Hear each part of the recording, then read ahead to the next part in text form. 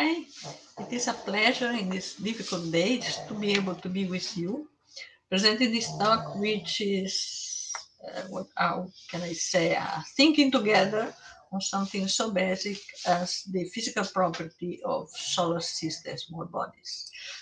Physical properties such as size, rotation, surface composition, and many others that we use in our research, we read in the papers, uh, but and they can hide so much assumption and modeling that might even invalidate the obtained results. And I am not speaking about uh, errors, error bars, etc.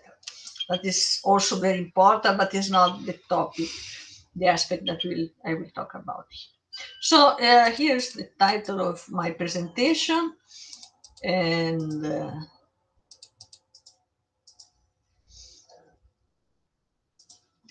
So, the physical property of minor bodies of the solar system derived from remote observation and the problem of data versus modeling.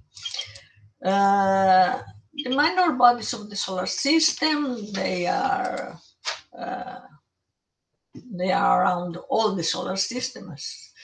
Uh, we know they are usually separated, divided between asteroid, centaurs, TNO, comets. Comets, they are all over the solar system, coming from the the very outer part, uh, limits, external limits of the solar system, and coming uh, near the sun. And you, we have the classical reservoir of these objects, like the mainland of asteroids between Mars and Jupiter. We have the Centaur in the region of the giant planets. We have the TNO, which are, are in the Trans-Neptunian belt. And of course, the big reservoir of the comet, which is the Oort cloud. But uh, what is the real difference among these uh, small bodies, these objects? Their orbit, of course, their orbit are different. We, we, we, define mostly them by the orbit, but the composition, their activity, and especially what is the origin, they originate altogether, separated. How can we uh, uh, understand the real difference among this body? And for this, we need the physical property. This is what uh, can really identify uh, the differences. And the physical property, we can uh, obtain the physical property of an object, individual, uh, its shape, size, its rotation, what is its composition, surface properties, density or internal structure. But when we do observation from the Earth, uh, these objects are very small, and uh, the individual uh, uh properties they are they have very big errors, and uh, for to know the real uh, physical property of individual small objects, the most important nowadays are the space mission. They can either flybys, orbits, or some return mission, but they really give a complete and very precise insight on individual what. But space missions are for few objects. They are not for all the objects. On the other hand, uh, this is from the taken from the Minor Planet Center uh, on January the 2nd. So, according to the Minor Planet Center, uh, on January 3rd, 2nd, uh, we had more than 1 million minor objects identified. Of these, nearly 5,000 are comet, and uh, 500 in 5, 550,000 number asteroid and another 500,000 a number. So we have a lot, a big sample of this object. And so the properties, the collective properties of population of this object can give us very important uh, information. We, we, we, we study their distributions, the distribution in size, in shape, in rotation, the distribution on composition, surface, uh, surface property, distribution of density, internal structure when we have. And this distribution, they are the constraint used in the solar system model uh, formation models. So these are very important for this. And but for this, they need to be real constraint, good constraint. Uh, their physical property need to be well determined. So, uh, what are some uh, physical property? Let's let's talk about the observable and the physical parameters. Uh, among the physical property of minor body, we can mention, for example, brightness or magnitude, color, how the, the surface reflect the light in the, the in different wavelengths. What is the presence of cometary activity, surface composition, rotational period, direction of the spin axis, prograde, retrograde, the shape, it is elongated, is rounded. What are the, the regolith structure and property, the regolith in its surface, the surface mineralogy, the albedo, this uh, how the, the light is reflected, how much of the light is reflected and how much is, uh, is absorbed, which is the size of these bodies internal structure, ice composition, ring presence, atmosphere structure, and many others. But of these, I may say that probably just the first three, the brightness, the color, and the presence of cometary activity, are observable, are directly information that we get from the telescope, from data from the telescope. We could also have the size in the case of having many chords by uh, chords by obtained by stellar occultation. But you have to you need to have many of them. Just one chord will not make any uh, will not give you the size. All the rest, all the remaining ones, they are physical parameters. They are derived physical parameters. So the physical property that we use to, to, to do the, the, the, the distribution and to, to constrain our models, they are based on observational data plus hypotheses or assumptions that we made and my model. So, uh, so I will give some uh, some example from remote observation, telescope and Earth, for example, for photometry photometry, we uh, we can measure, we, obtain brightness, the flux on our CCD example. Of course, it depends on the wavelength we are using. So we, we derive a magnitude in a determined in a filter, specific filter, whatever is the uh, the system we are using. But uh, we must remember that minor bodies of the solar system, they just reflect the incident light. The, the, the light is not their light. So the brightness, depends on diverse geometric and physical parameters. For example, depends on the distance from the sun and from us that we use. Of course, the distance, uh, uh, uh an object will have it brightest big larger or smaller if comes near us or uh, far away from us. Of course, this can be overcome if we use, for example, a fixed distance. But we have also the solar phase angle, that is the angle between the Earth, the object, and the Sun. This means the illuminated phase uh, of the of the object or the aspect angle. The aspect angle is the angle between the line of sight and the rotation and the, and the, and the rotation axis, and which give the which is the phase we are observing at the moment. And of course, of the object, we have the shape, if it is round, it's elongated, it is round, the composition, uh, say the albedo, how much it is reflected, how much is absorbed. And the surface structure, it is a, a, clean surface, a homogeneous surface, a regolithic uh, surface. The regolith is, is big, is large, is small, is grain size, is boulders. So all this will uh, uh, will be uh, will have direct influence on the magnitude that we derive. So uh, for small bodies of the solar system, we, we define a magnitude, a reduced magnitude.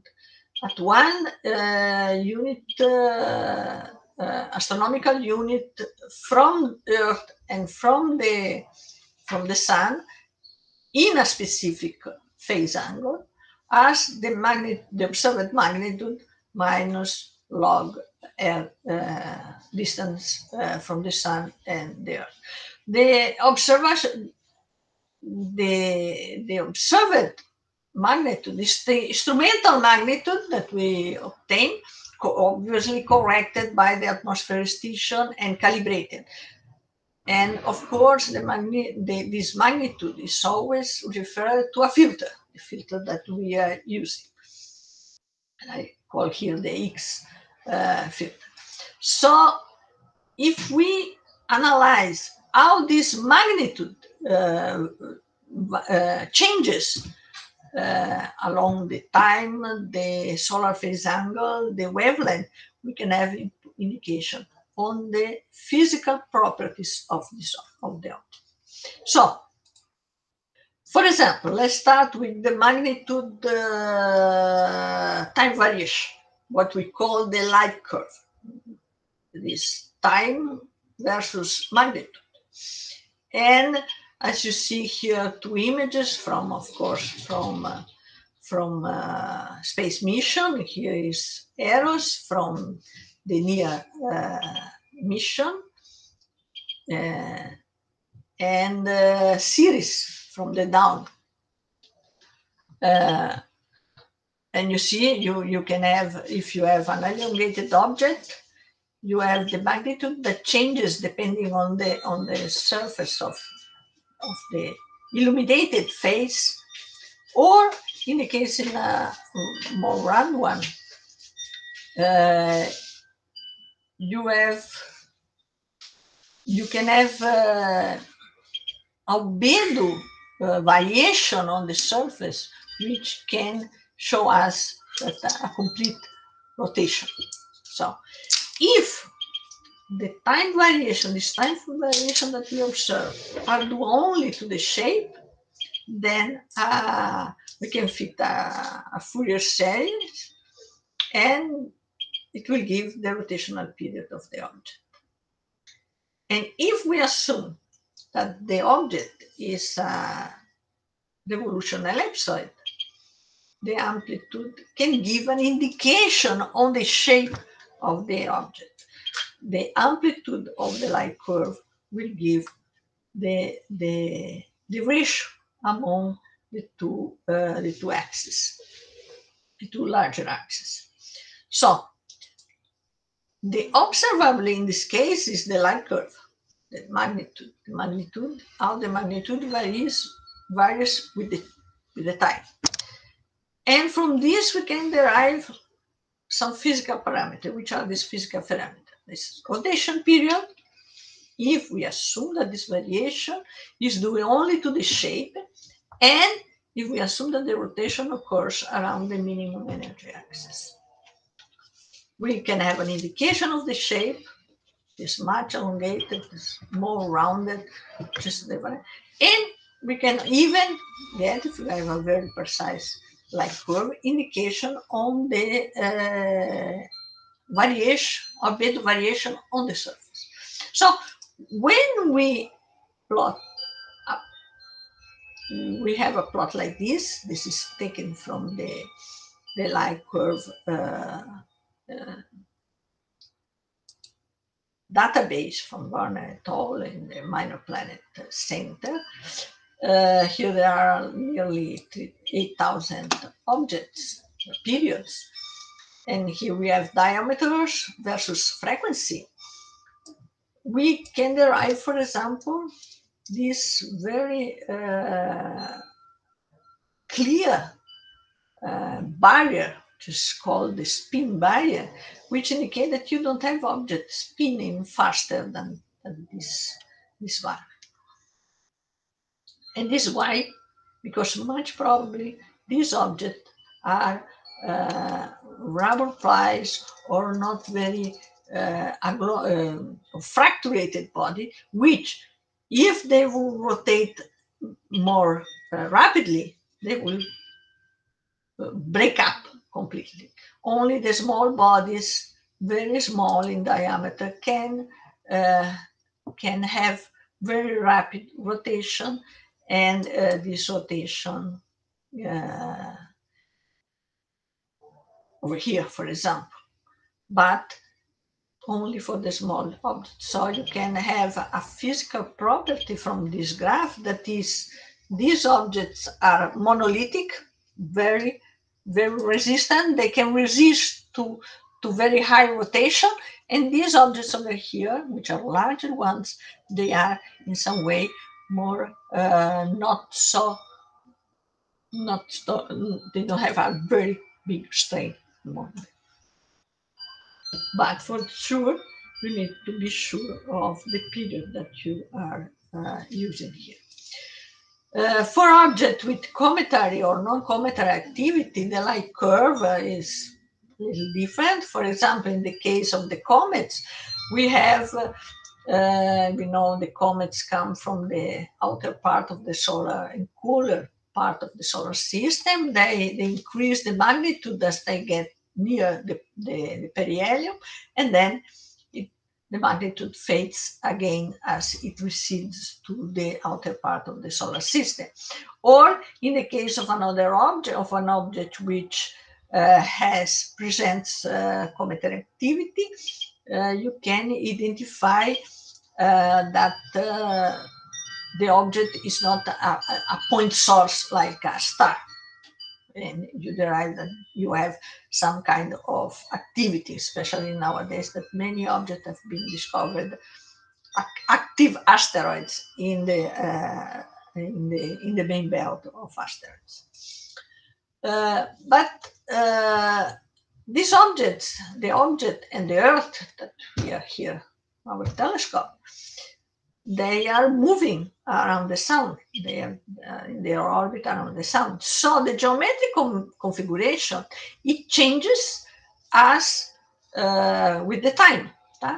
So the the geometric configuration will lead to variate to light curve variation due to the changing of the aspect angle. The aspect angle will change with this with the with the orbit the changing orbit of the observer and the observed object. So, in analyzing how this light curve changes uh, over long periods uh, with the geometric configuration allows to retrieve the shape and the spin direction, or we call the pole, uh, through a method like curve inversion. You invert the, the two-dimensional to get the third dimension.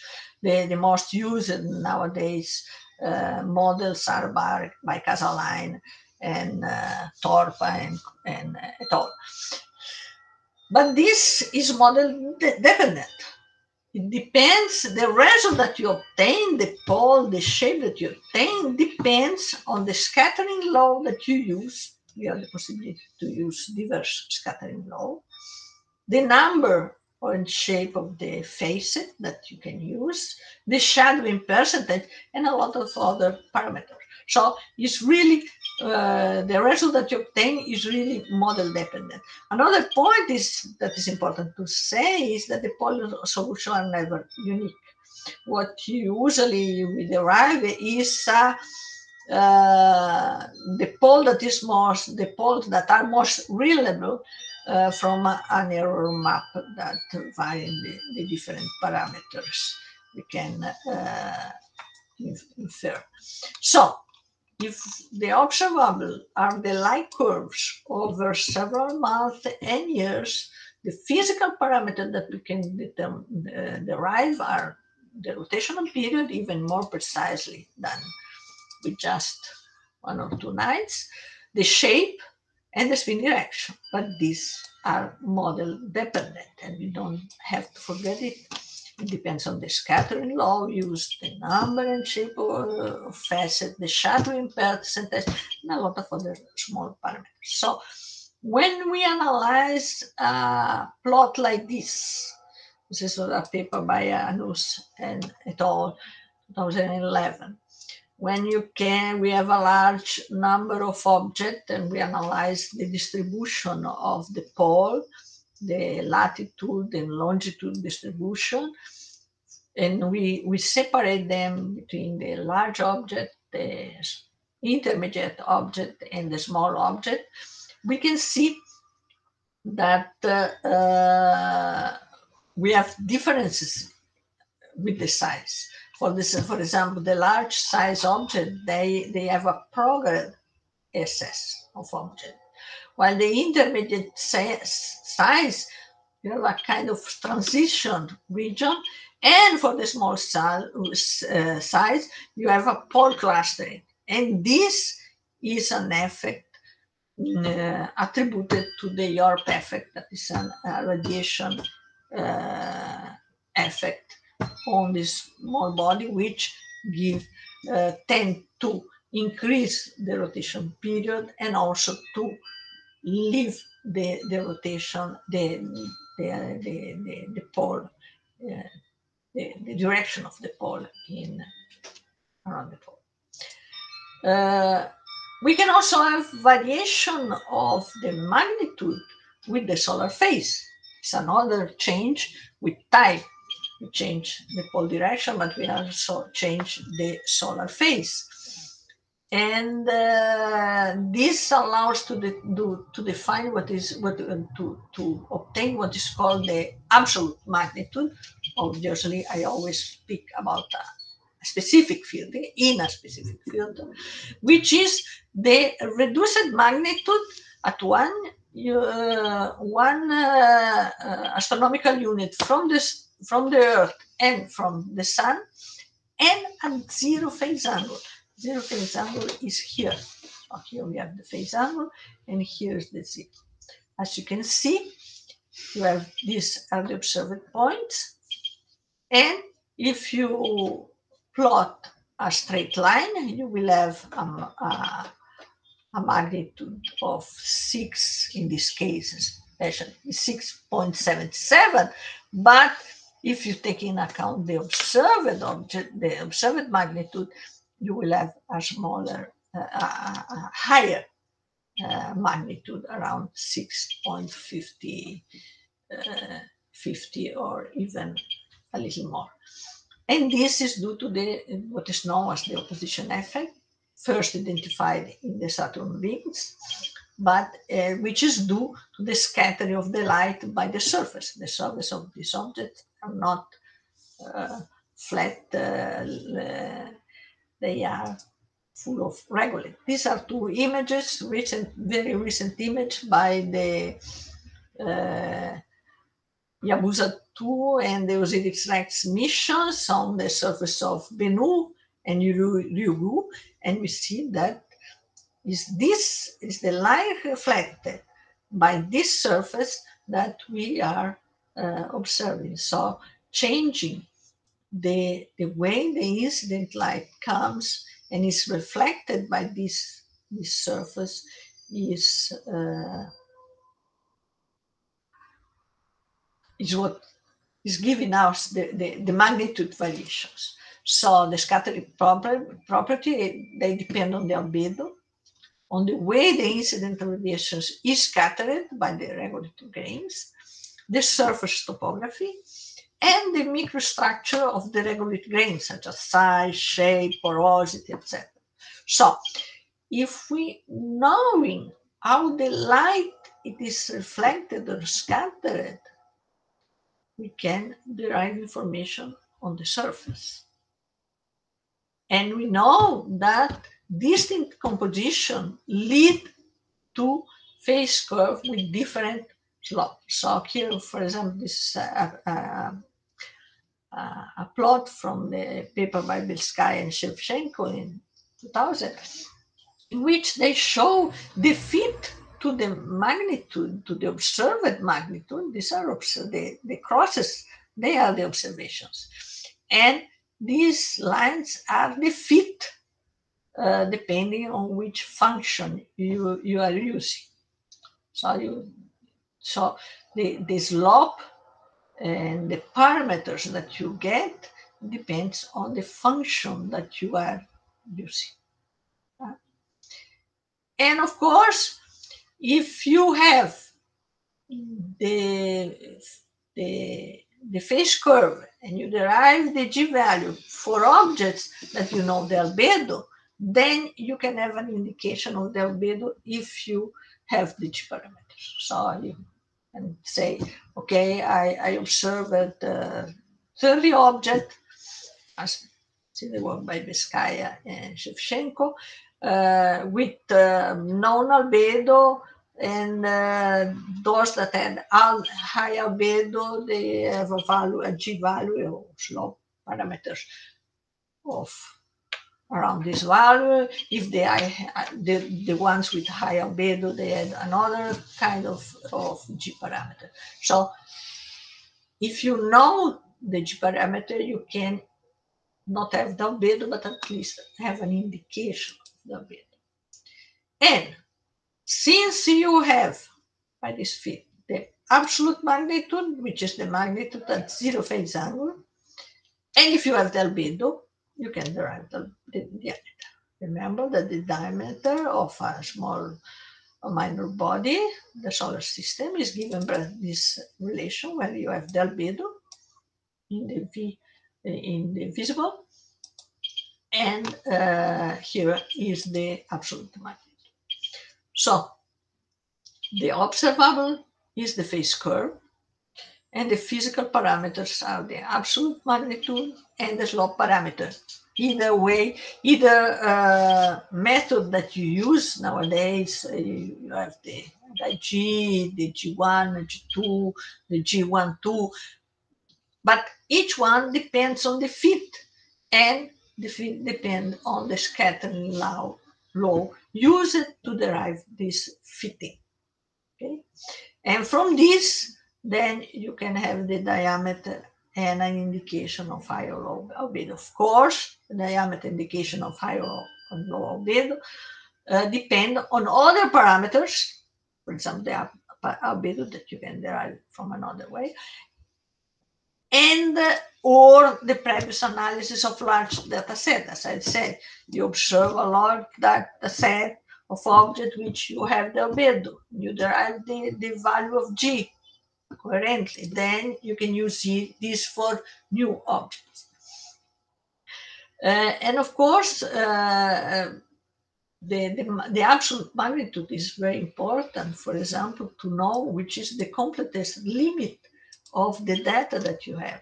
And this, uh, we know that uh, the, this completeness limit uh, depends on the distance from the from the from the sun because uh, we observe we have higher smaller object in the for example this is for the inner uh, for the main belt and you have the inner the intermediate and the outer main belt and we see that the completeness limit is different.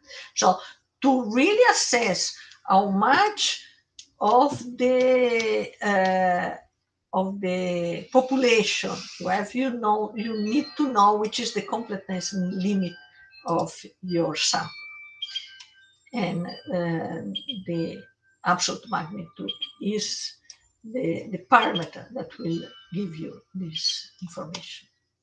For the outer, outer solar system object, this is a little more difficult because the solar, the, the, you cannot observe them at, uh, at large phase angles. So you cannot have this part, the linear part of the phase curve.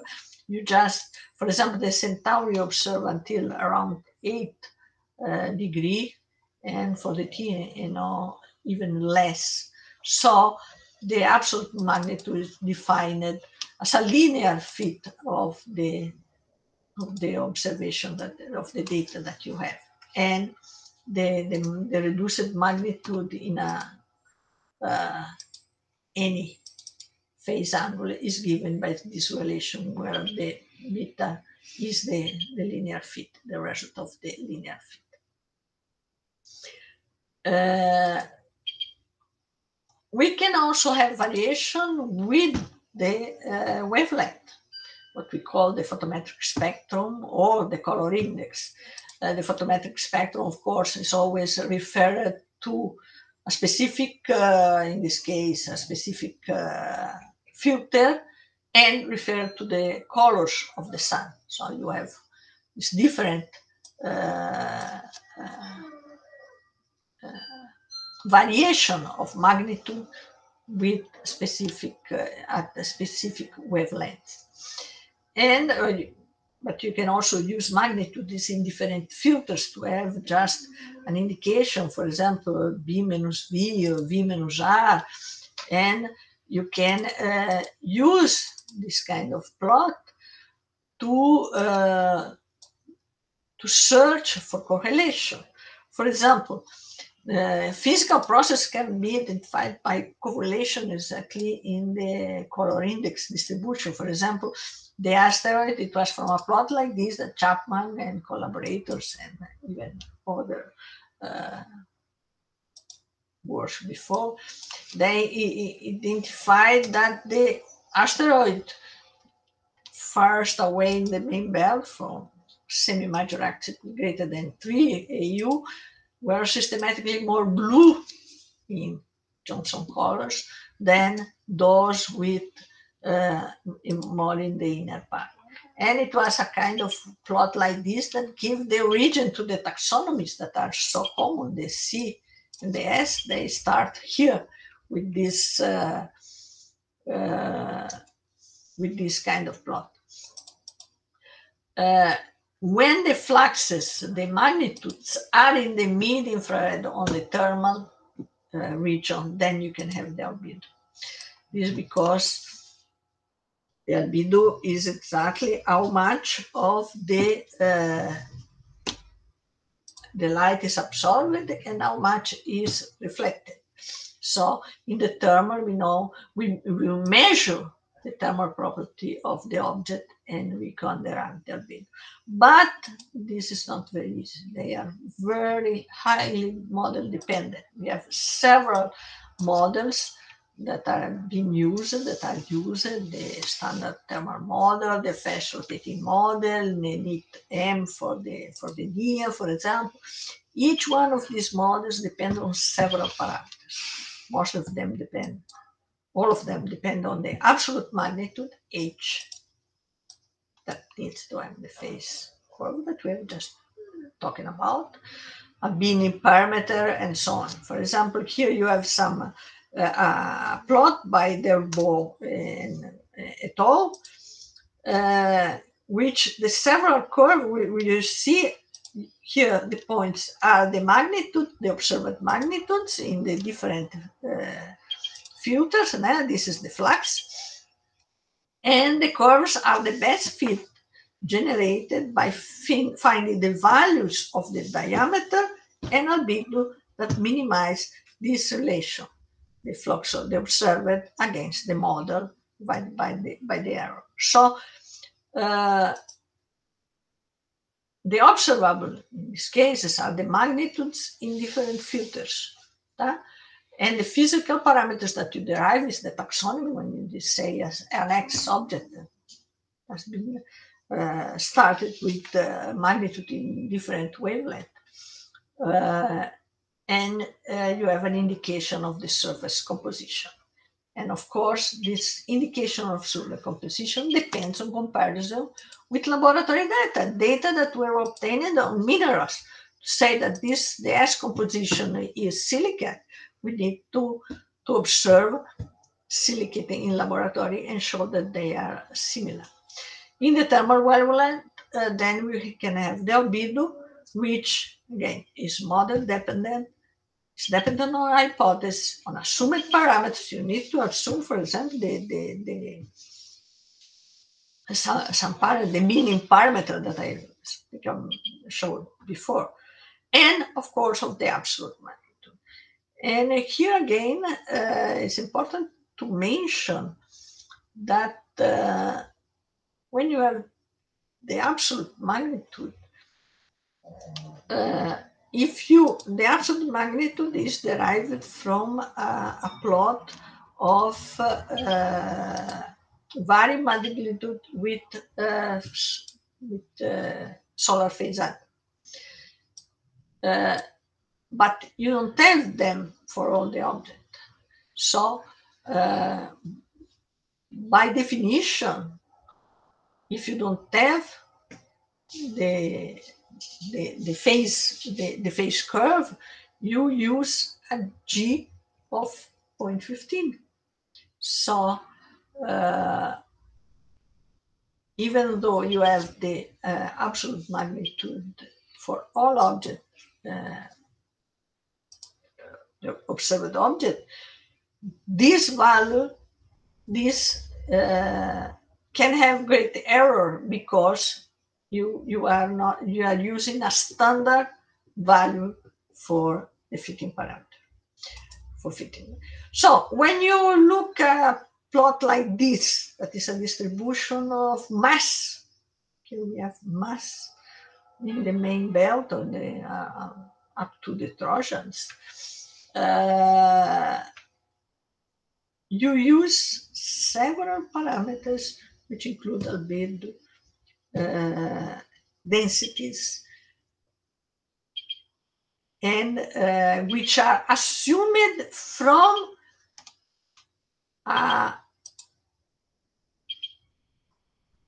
which are assumed as mean of each one of these classes. So you know the objects, the S that are the X taxonomy that are silicate, they have a density of uh, around 3 gram per centimeter cubic.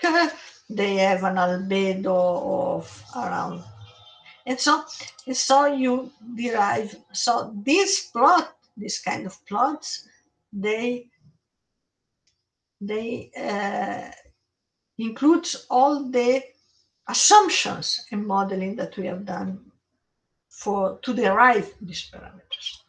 Or in the case here, where we have the diameter versus albedo for a great number, a large number of objects, that is from the WISE uh, and the NEOWISE uh, surveys, this from the paper from Mainzer et al. Here we have nearly 140,000 objects, and we have the albedo varying uh, from I zero one. But this albedo in this geometry are fitted, are fitted on a model. And this model has assumed parameters and uses the h, the absolute magnitude that is not all obtained by a phase curve. Uh, we can also have spectroscopy, for example, and here is a nice plot that I've taken from Bass et, et al. And where you have the, the, the spatial dispersion of the of, of your uh, the light from the object, and this, for example, this is the is Vesta, Vesta, Vesta, and this is the uh, the, the, the raw counts counts of the flux of Vesta. And and this is the light not of Vesta, but the light of the sun reflected by Vesta. So we just have this the surface of Vesta when we divide the, the spectrum of Vesta by those or that of a solar analog. And a, a star that has a spectral property similar or exactly equally to that of the sun. And so the final spectra, it depends on the solar analog. So if we don't use a very uh, similar star, uh, solar analog star that is analog to the sun, to our sun, we will have error that can, of course, they are small error, but it's an error that we are introducing here in the spec that we are analyzing.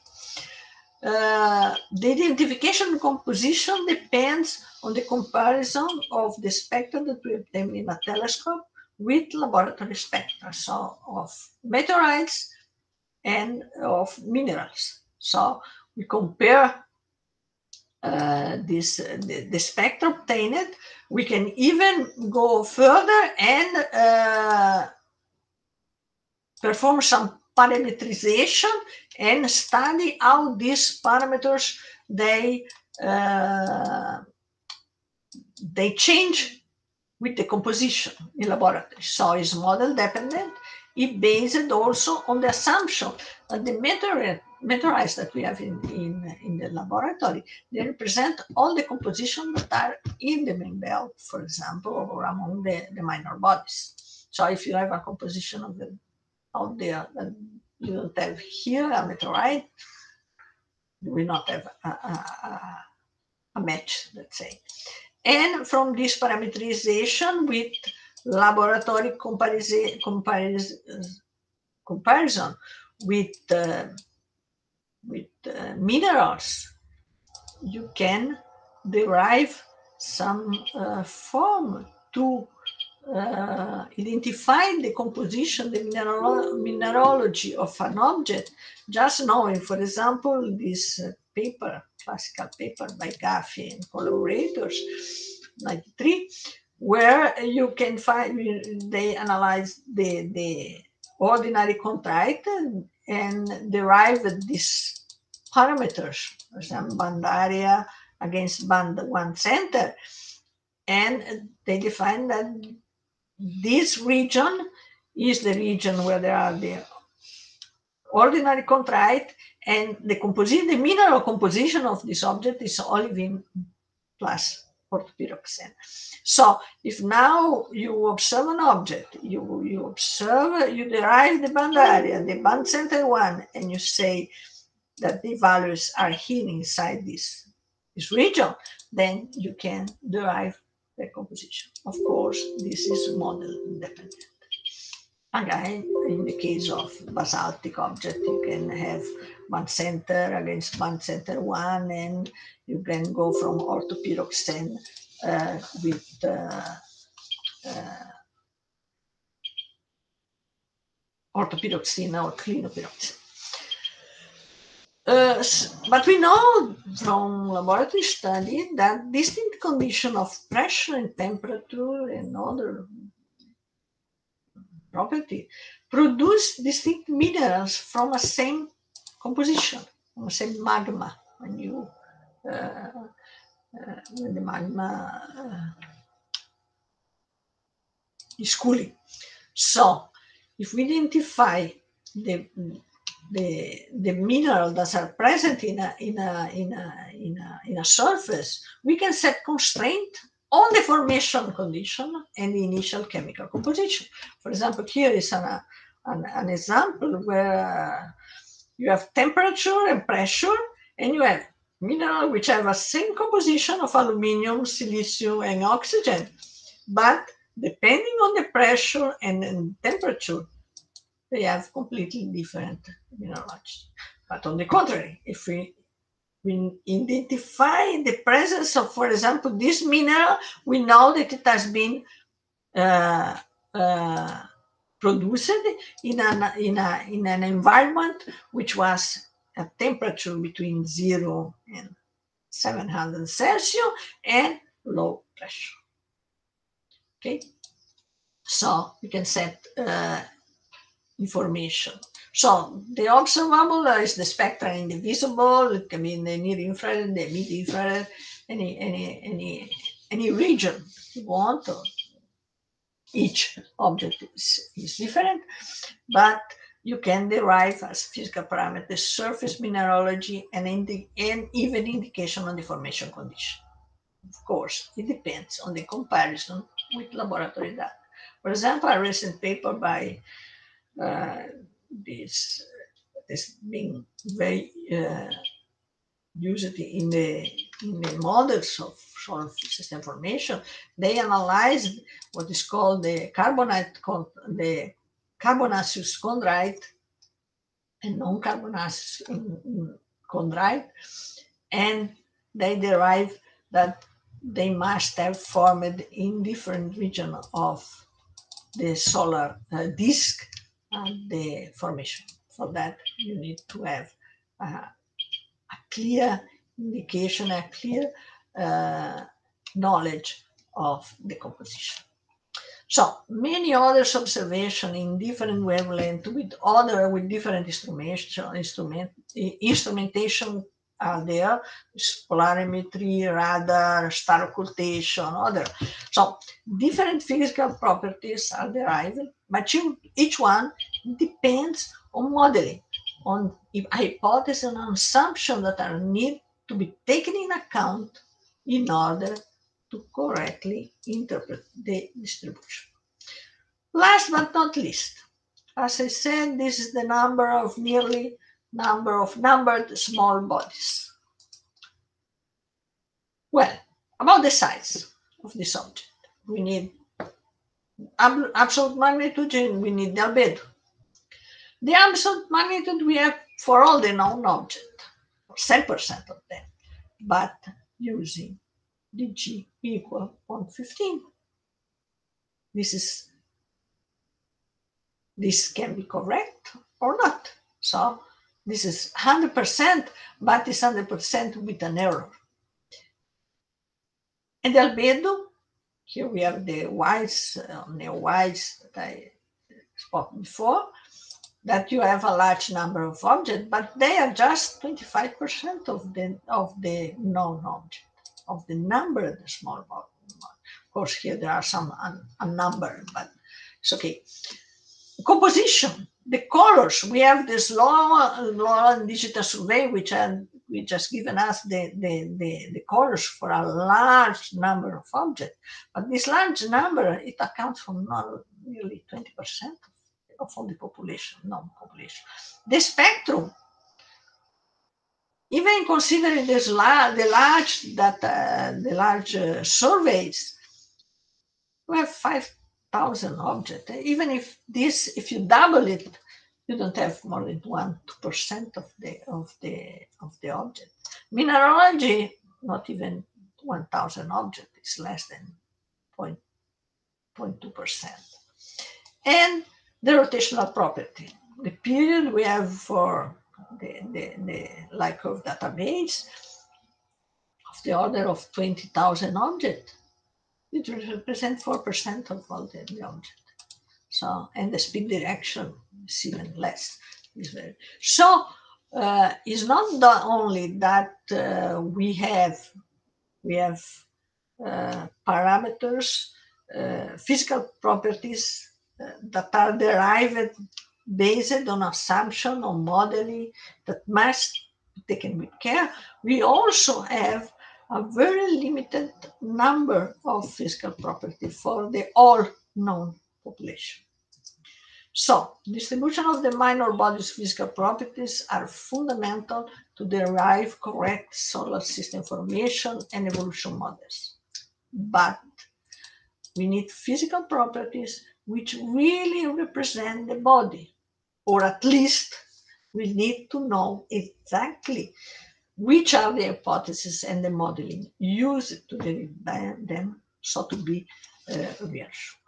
So this is what I would like to, to show you and thank you very much for your attention.